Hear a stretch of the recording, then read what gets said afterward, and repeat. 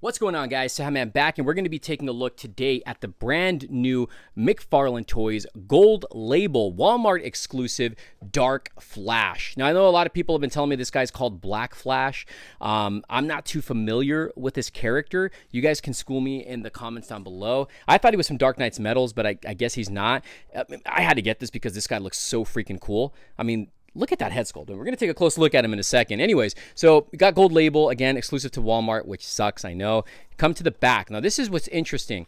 If you guys look at these, they have, all of them three have different mouth expressions. Uh, maybe even eyes. I'm not 100% sure. Does this one seem red? Yell, maybe squinting a little bit. I don't know. But one has a slightly open mouth, a closed mouth, and an open mouth. So I'm wondering if we're going to get variants of these in store or if McFarlane's going to do like a McFarlane Toy Store exclusive.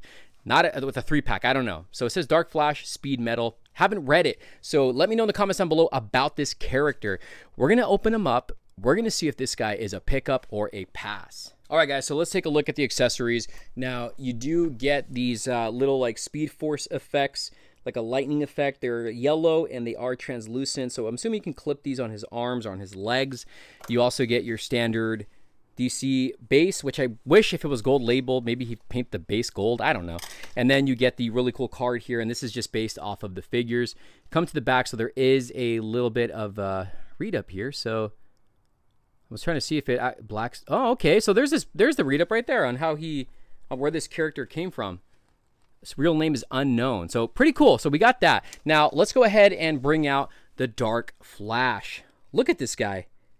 So open mouth version again.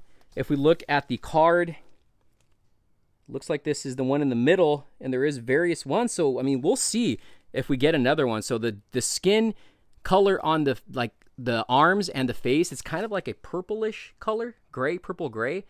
But this looks cool. You got the lightning bolts right there on the side of the mask. Very angry looking, very zombie looking. Cool texture on the suit. You got the lightning bolt here in the chest area. It is sculpted on there. You got the abdomen.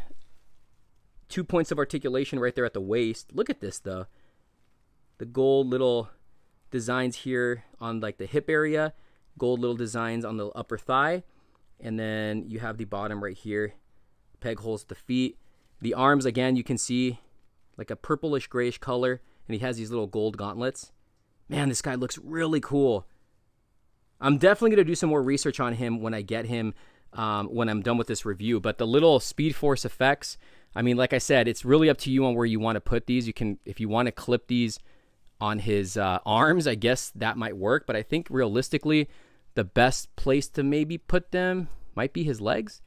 But the thing is that why do they give us two? Why can't they give us like like four of them to put on to the the arms and the uh, the leg? So I mean, you can kind of do it like that. It's really up to you. You can put it on the arms or on the legs. It's just really up to you on how you want to do it. So let me go ahead and go over his articulation really quick. The head sculpt does rotate, goes up and down. I like that little area right there in the neck, the sculpting on that. Arms in and out, He's got like articulation right here too. Arms in and out, upper arm rotation, double jointed at the elbow. Hand rotates, has a hinge, two points of articulation, ab crunch, good range of motion too. This part right here, the trunks is a soft rubber material. Legs go in and out, forward and back, double jointed knees, ankle pivot, toe articulation. So your standard articulation for a multiverse DC figure. And there you have it, guys. There's my quick little review. Today we're taking a look at the brand new DC Multiverse, The Flash Dark Flash. So he does come with some cool accessories, you know, the speed effects. I just wish he would have given us at least four of these. And then you get the card, wondering if they're going to give us some variants of this guy, and the base, of course. So might not be for everyone unless you're a Flash fan, but it's still an awesome looking figure, especially when you see it in person. Because I first saw this obviously in picture, but when I saw it in person, it definitely wowed me when I saw it. And it's a great head sculpt, awesome looking version of the Flash. It actually makes me want to go pick up some of the other McFarlane multiverse Flashes that I missed out on. But let me know, guys, in the comments down below if you know about this character and if it is a pickup or a pass. Thank you for watching, guys. We'll see you soon. Later.